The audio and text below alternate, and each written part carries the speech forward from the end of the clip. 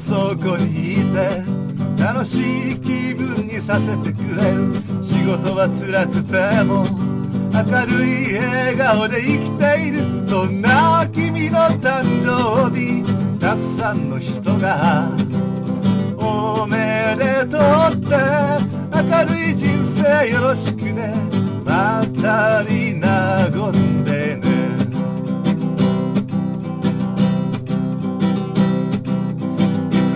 こにいて楽しい気分にさせてくれる。仕事は辛くても明るい笑顔で生きている。そんな君は人気者。顔文字の達人でありがとうって。